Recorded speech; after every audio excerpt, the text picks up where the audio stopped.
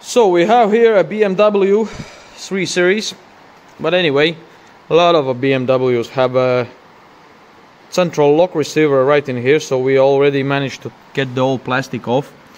We cleaned the board because there was some um, corrosion.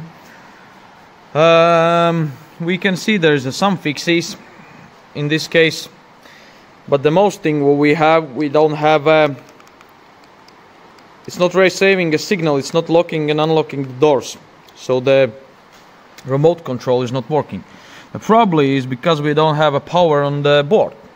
And one of the problems can be actually, as you can see in here, I don't think this is originally like that, but anyway, if you pull off the, as you can see, if you get off the seal, as you can see the wires is already smacked.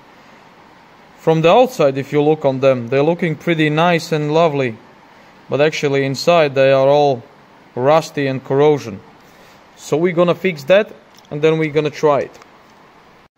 So after fixing the wires in here so them uh, already been somebody done those ones so we just uh, refurbished them so now all contact is pretty good and we came out without any success so what we're gonna do now is the last chance. We already changed the fuses.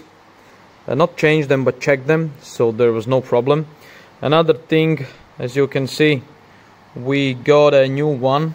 It's a not new one, it's a used one from the E70 uh, BMW. So we're gonna put that on one on, and we did test it out, and it was working.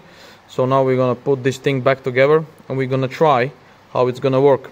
Because the old one as you can see you can see where there was a little uh, corrosion all the way on the all the way on the electronics. There was some corrosion in here. So we already cleaned it off but it didn't help. So this module is uh, gone so that's why we need to definitely change this diversity model. Anyhow so let's do it. So after connecting this one is goes for the central locking. Signal that one is for the radio. Uh, signal that is radio antenna. Um, that one is for the brake light. And this is a power supply for the module. Diversity module. So after that let's test it out. What it's gonna say. It's locked. Unlocked. So it's perfect now. Very good. Let's try it from here. Let's see. Locked. Unlocked.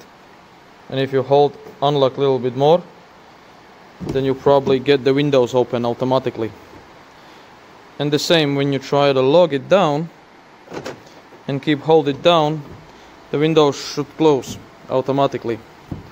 So perfect. This is how we done it. I hope in your case can be these those wires. Which one can be broken down in there as well? Um, that can be uh, two fuses. Those ones which one is uh, 15 amp both of them blue ones uh, 56 and 57 so just right down there. So you have to check them always first. Uh, probably probably they can be blowed but in our case the fuses was alright. The wires was uh, not as good as right we're gonna gonna we did get one broken one but still the problem was the module.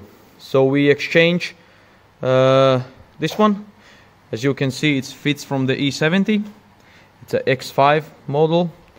Um, the second generation. So yeah. That's it. Thanks for watching. Leave a comments and good luck with your diversity model and with your central locking problem.